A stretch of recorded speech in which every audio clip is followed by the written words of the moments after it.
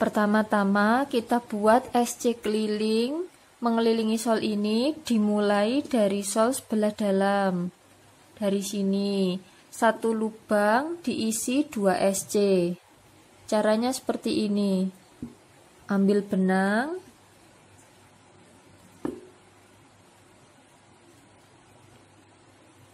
sejajarkan dengan sol, kemudian ambil satu rantai, kita SC pada lubang yang sama. Sejajarkan dengan sol lagi. Nah, seperti ini. Ini sudah 2 SC ya. Kemudian lubang berikutnya kita buat 2 SC lagi.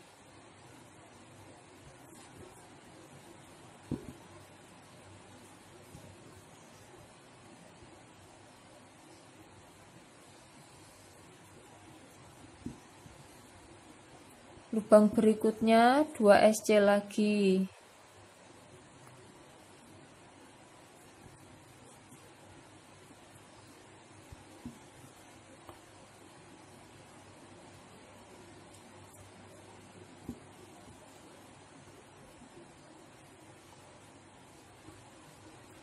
Kita lakukan terus. Satu lubang diisi SC hingga ketemu lubang yang terakhir. Lubang yang ini.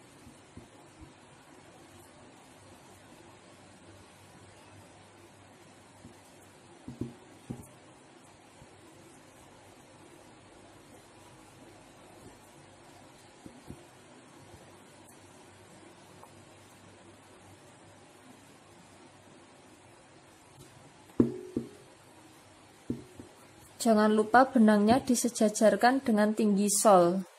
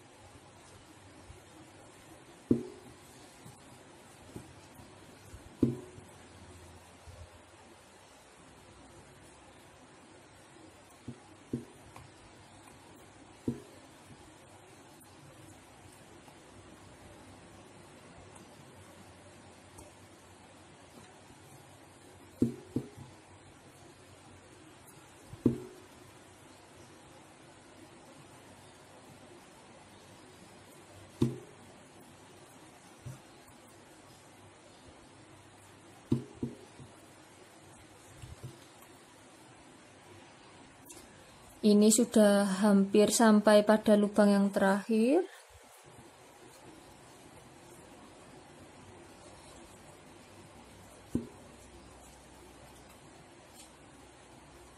Ini lubang yang terakhir, 2 SC dalam satu lubang.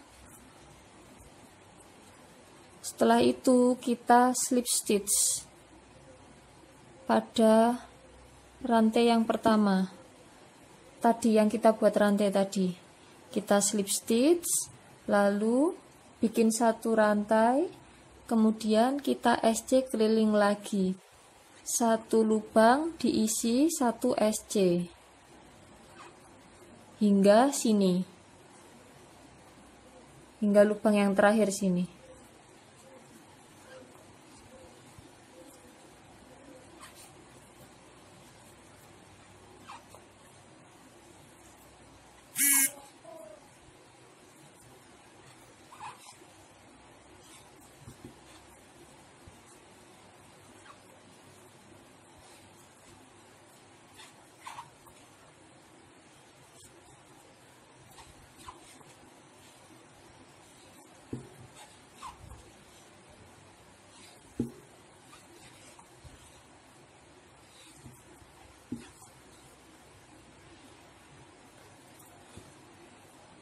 Ini sudah hampir sampai pada lubang yang terakhir.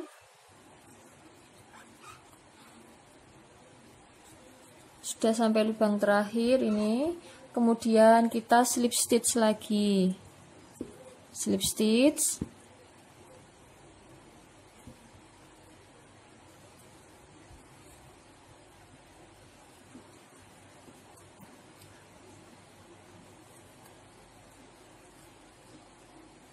Slip stitch lalu kita buat satu rantai lagi. Ini sudah ada dua baris ya. Sekarang kita buat baris yang ketiga. Satu lubang diisi satu SC caranya sama seperti tadi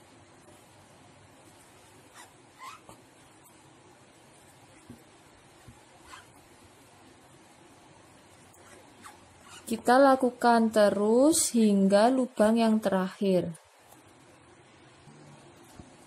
Baris ketiga sudah hampir selesai.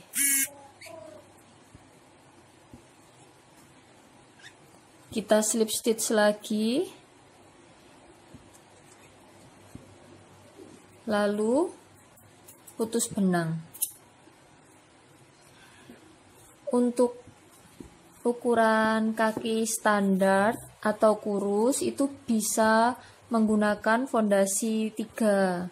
Jadi satu fondasi yang pertama satu lubang diisi 2 SC, fondasi kedua dan ketiga satu SC, satu lubang diisi satu SC. Tapi kalau kakinya tebal bisa ditambahi satu fondasi lagi, jadi ada empat baris.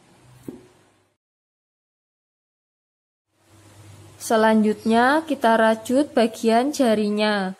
Kita buat rajutan seperti ini nanti. Untuk patokannya, ukuran sol 3637 kita rajut 9 lubang. Ukuran 3839 11 lubang. Ukuran 441 13 lubang. Biar lurus, kita sejajarkan dengan garis ini. Seperti ini. Ukuran sol saya 36, jadi saya rajut 9 lubang.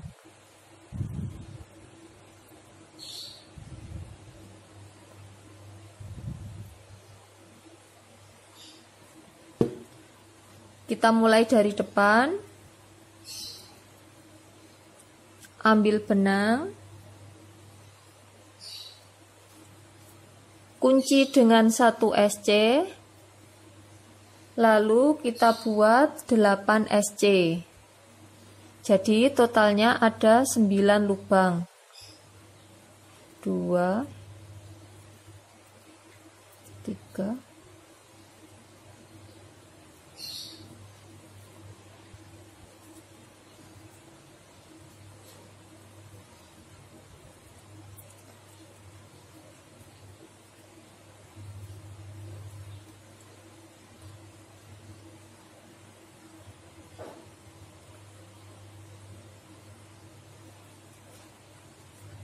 Ini ada 9 lubang yang sudah saya rajut. Selanjutnya kita balik. Lalu kita rajut SC. Kita buat SC pada lubang yang pertama, lubang yang ada benangnya ini. Satu,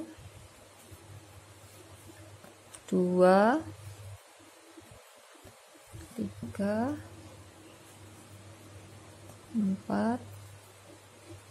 Lima. Enam. Tujuh. Delapan.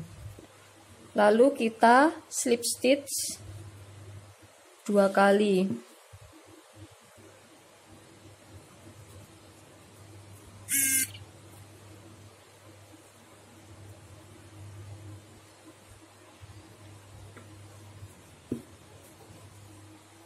kita slip stitch pada lubang yang kosong di sebelahnya.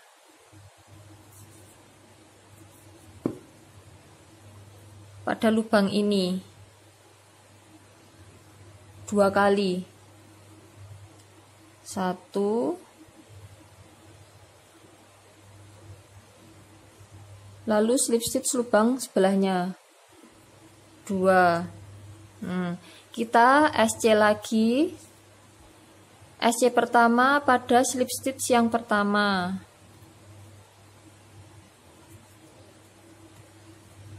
Kita buat SC hingga lubang yang terakhir.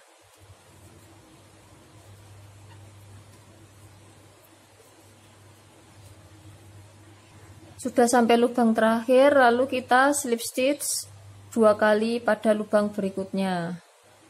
Lubang yang kosong ini satu. Dua. Kita balik. Lalu kita SC pada slip stitch yang pertama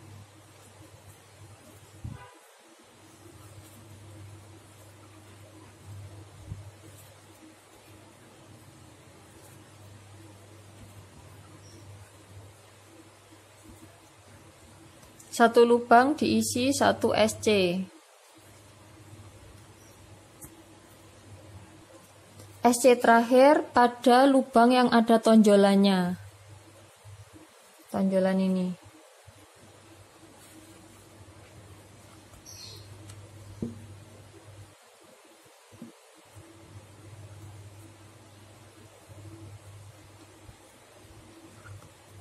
Balik Lalu kita slip stitch lagi dua kali pada lubang sebelahnya, lubang yang kosong.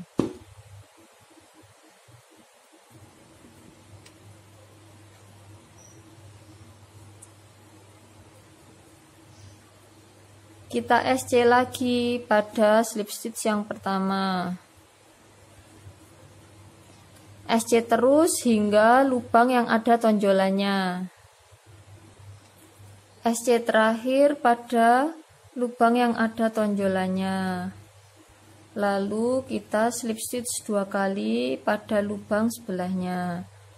Lubang yang tidak ada benangnya. Diputar, dibalik, lalu kita SC. SC pertama pada slip stitch yang pertama. Kita lakukan terus hingga lubang yang ada benangnya. Sudah sampai pada lubang yang terakhir yang ada tonjolannya. Lalu kita slip stitch lagi dua kali.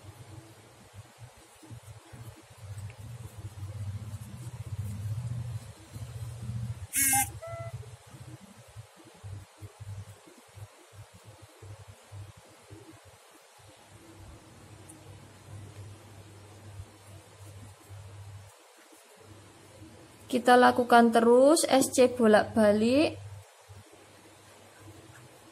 Kalau saya patokannya ukuran sol 3637, kita buat SC bolak-balik sebanyak 24. Untuk ukuran 3839, kita buat SC bolak-balik sebanyak 26. 441 SC bolak-balik sebanyak 28.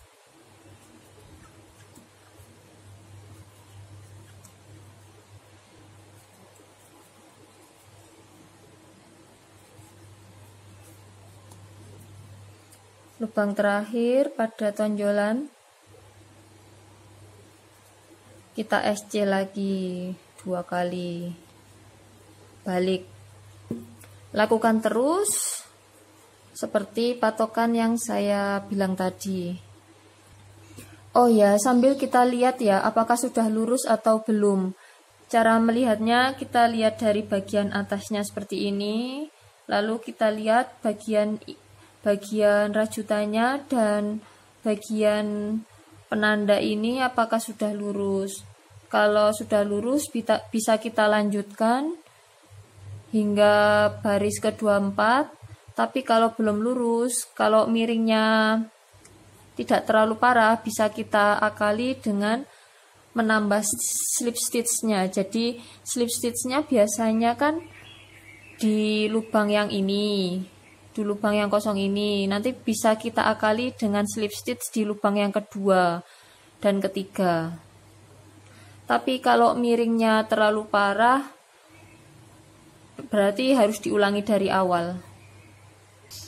Ini saya sudah merajut 11 22 baris, jadi kurang dua baris lagi.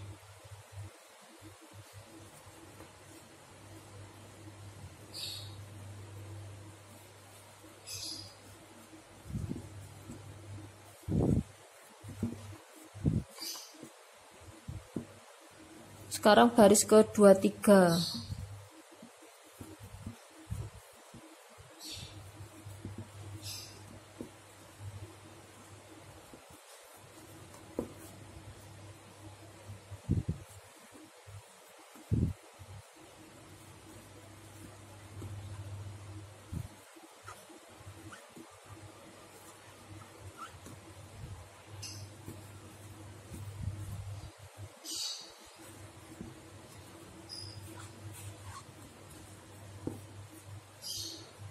Dan yang terakhir SC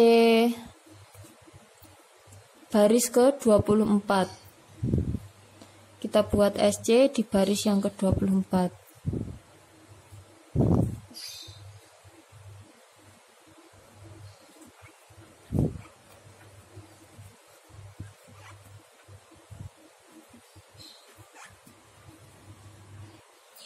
Baris ke-24 sudah selesai, kita rajut. Selanjutnya, kita buat bagian ini. Caranya, ini kita slip stitch satu kali saja. Lalu dibalik. Lalu kita SC pada lubang sebelahnya, jadi lubang kedua. Lubang yang tidak ada benangnya kita SC hingga ke ujung, hingga ke lubang yang ada tonjolannya.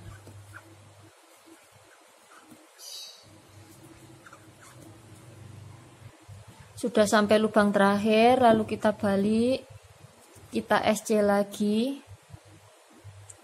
Kita SC pada lubang yang pertama, lubang yang ada tonjolannya ini, lubang yang ada benangnya ini.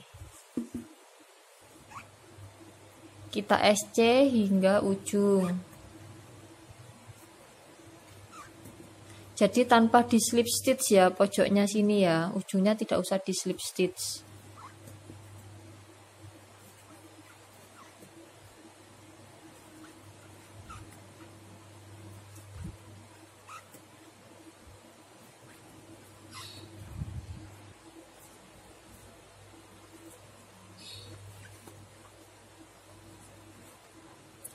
Sudah sampai ujung, sudah sampai lubang yang ada tonjolannya, kita balik lagi, lalu kita SC lagi di lubang yang pertama. Kita lakukan terus SC bolak-balik sebanyak 14 row atau baris atau bisa juga menyesuaikan. Kalau saya 14 baris.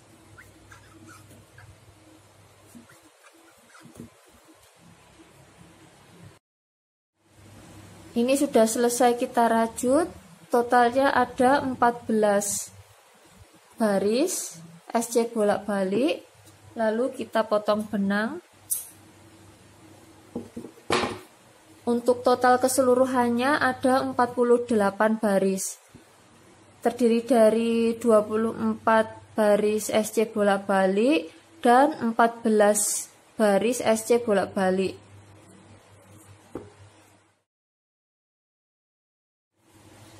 Selanjutnya kita buat bagian badan sepatu. Bagian ini. Caranya adalah kita buat SC pada bagian sini. Kita anggap ini tiang ya. Jadi ini rajutannya kita anggap tiang. Kita ambil 5 1 2 3 4 5. Kita mulai dari sisi yang kelima Pada tiang yang kelima ini kita ambil benang, kemudian kita kunci dengan satu rantai, lalu kita SC pada tiang berikutnya. Yang kedua, ambil benang,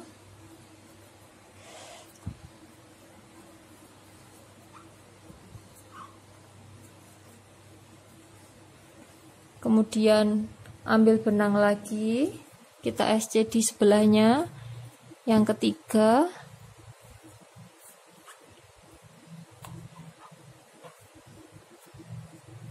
Kemudian empat. Untuk benang sisanya ikut kita rajut biar rapat dan rapi. 5 sudah kita kita dapatkan 5 SC kemudian kita SC pada lubang berikutnya kita SC pada lubang ini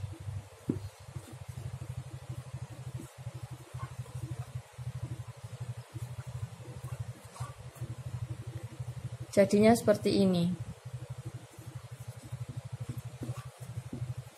Kita SC memutar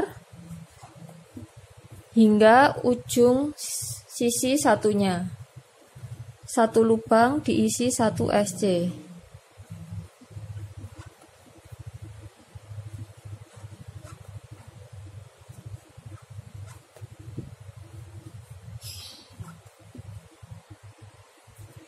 Sudah sampai lubang yang terakhir.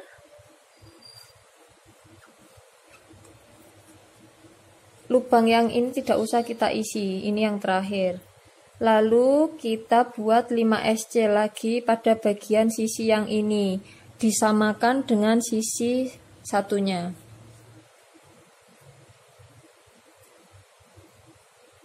Ini ya.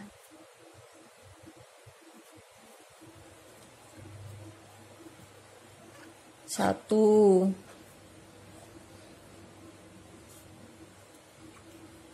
dua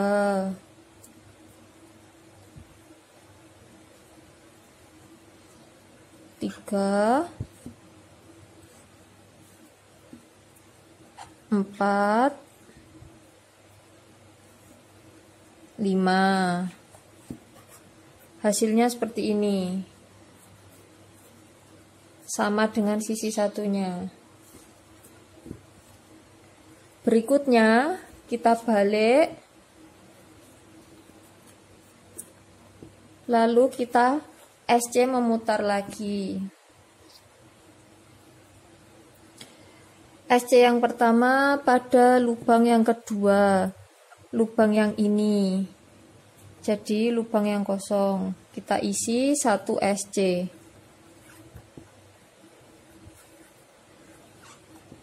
satu lubang diisi satu SC. Lakukan terus hingga ujung sisi satunya.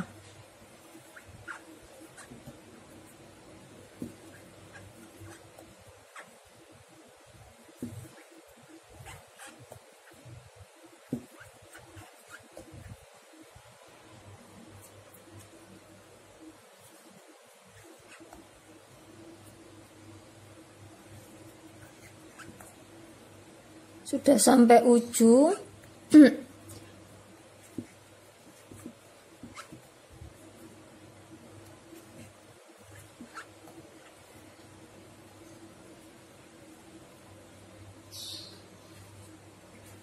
Terakhir di sini.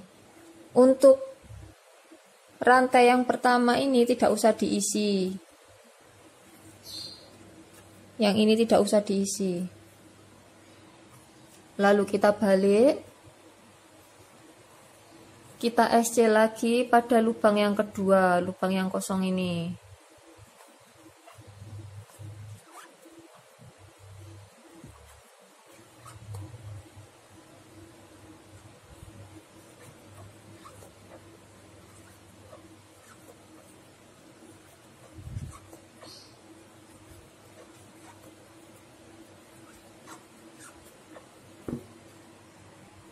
Kita lakukan terus hingga ujung satunya.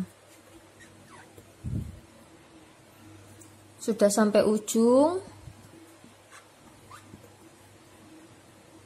Lalu kita biarkan lubang yang terakhir ini tidak terisi. Jadi lubang yang ada tonjolannya ini biarkan tidak terisi benang. Lalu kita balik, kita skip satu lubang lagi. Kita isi lubang ini, lubang yang kedua ini. Kemudian SC keliling satu lubang diisi satu SC.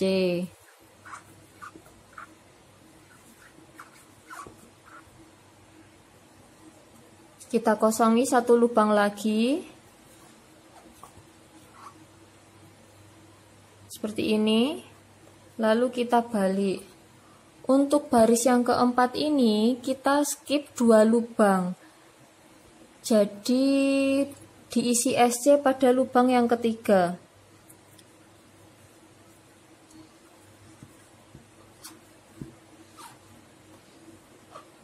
Baris keempat dan seterusnya kita isi dua kita skip dua lubang.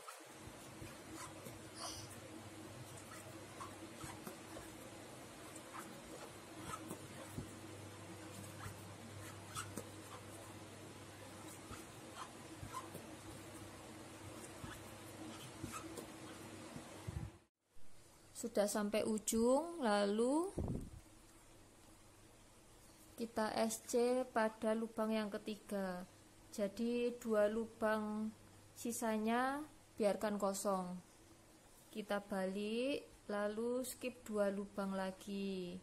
Isi SC pada lubang yang ketiga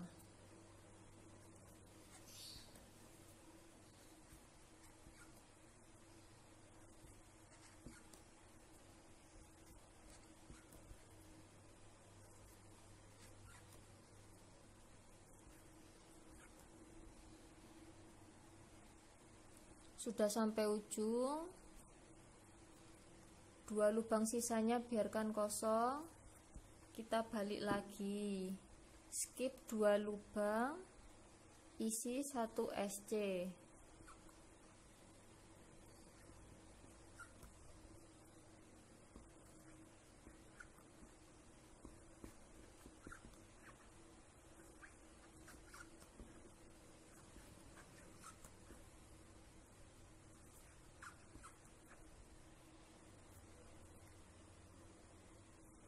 kita buat 8 baris SC bolak-balik. Ini baris yang ke-8 baris yang ke ter yang terakhir. Kita skip dua lubang lagi. Lalu kita SC memutar hingga ujung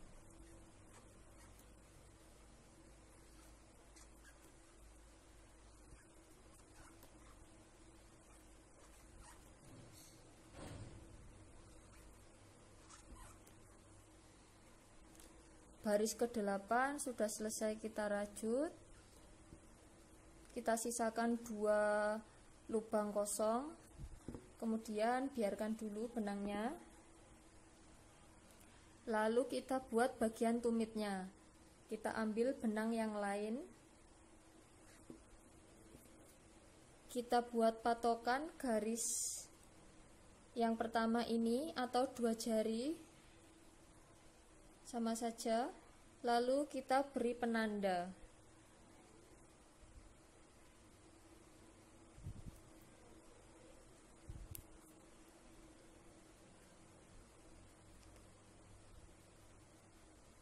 Jadi ada 18 lubang yang akan kita rajut.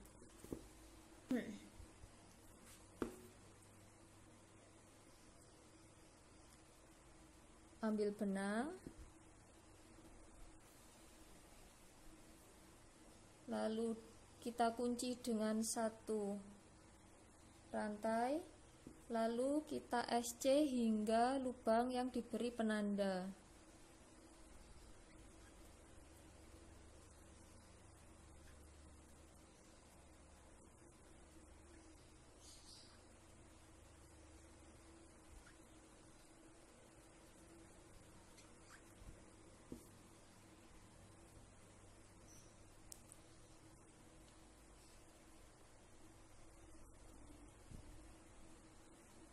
lubang yang terakhir lalu balik. Kita SC lagi bagian tumitnya skip satu lubang. Isi lubang yang tidak terisi benang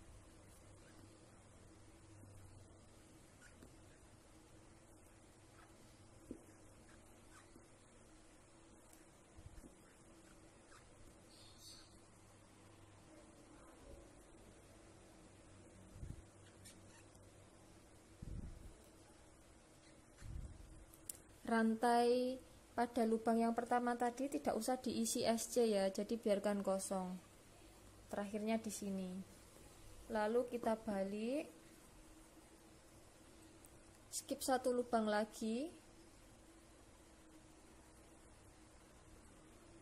Kita SC pada lubang yang tidak ada benangnya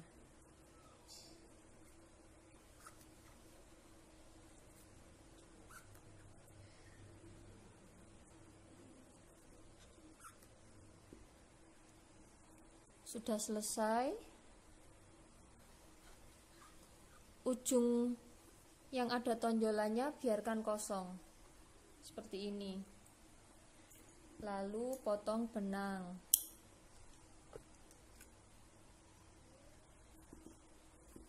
Jadinya seperti ini. Lalu kita lanjutkan.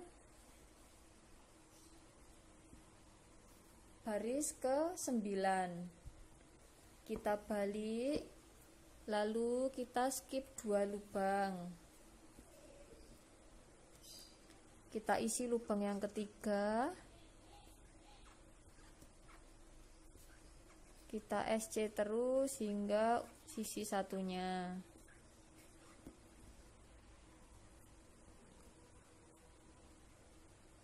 Ini lubang yang terakhir. Lubang yang ini jangan diisi lalu kita ke lubang bagian tumit. Yang pertama ini diisi. Satu.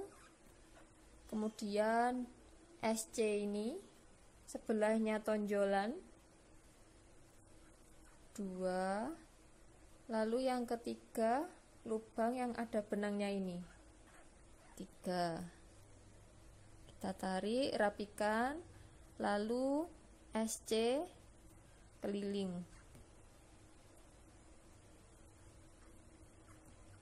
Benang sisanya ikut dirajut saja.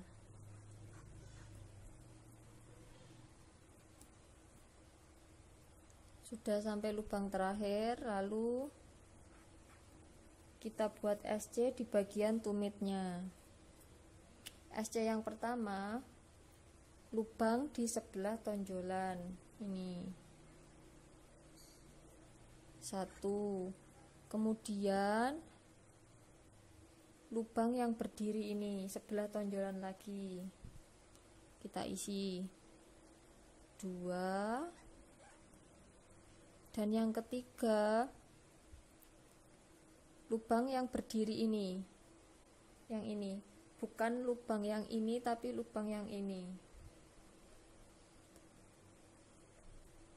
tiga.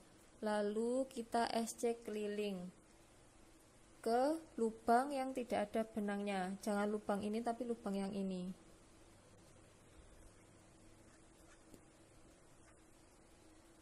Kita SC lagi hingga ke paling ujung. Sudah sampai ujung sisakan dua lubang kosong lalu kita balik. Kita rajut baris yang terakhir baris yang ke 10 skip dua lubang lalu kita SC pada lubang yang ketiga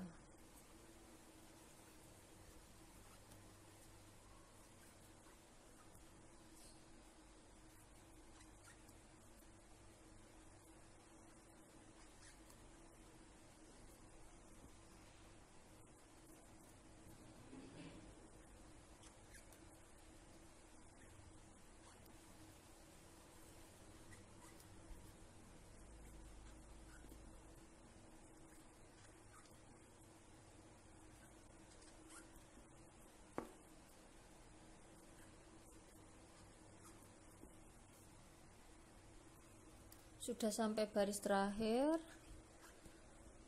Kita biarkan dua lubang yang terakhir kosong lalu potong benang. Seperti ini.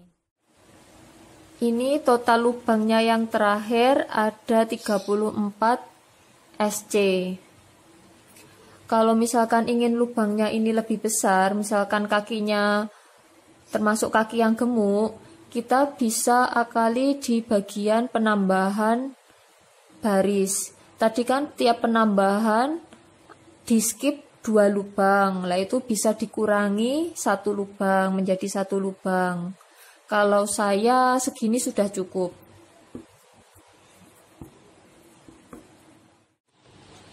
Untuk bagian tumitnya ini bisa menyesuaikan sendiri ya, bisa tiga baris atau dua baris saja. Ini saya dua baris. Tadi kan awalnya saya pakai tiga baris bagian tumitnya, tapi karena terlalu tinggi saya kurangi jadi dua baris. Hasilnya seperti ini.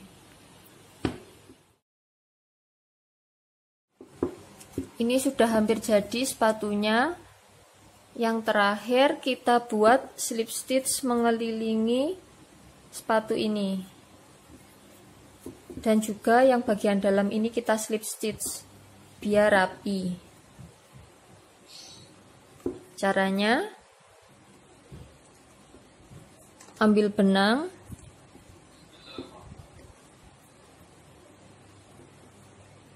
Kunci dengan satu rantai.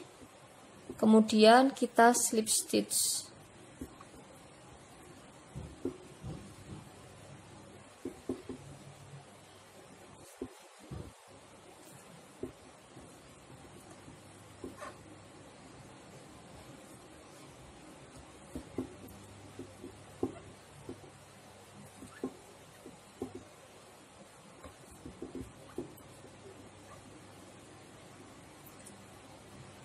Kita lakukan terus hingga sisi satunya, sisi yang paling ujung.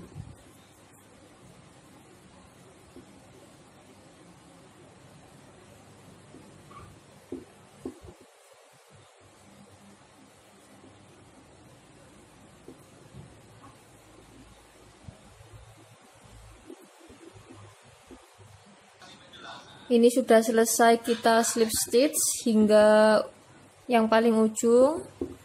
Lalu potong benang dan dirapikan.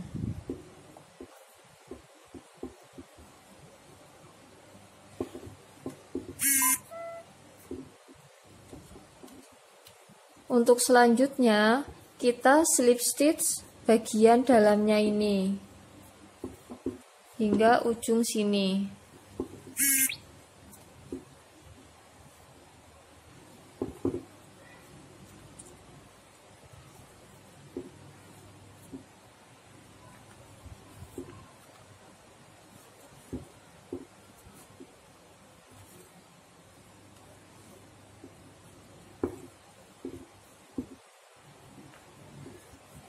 kita slip stitch memutar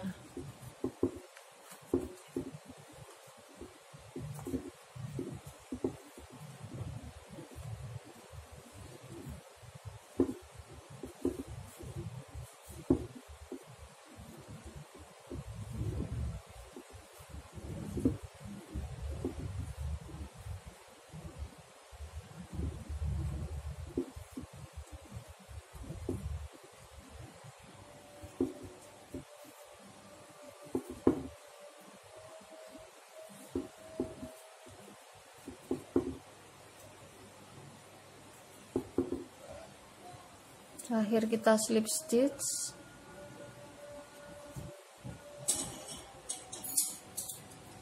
Potong benang dan rapikan. Hasilnya seperti ini. Tinggal dipasang tali sepatunya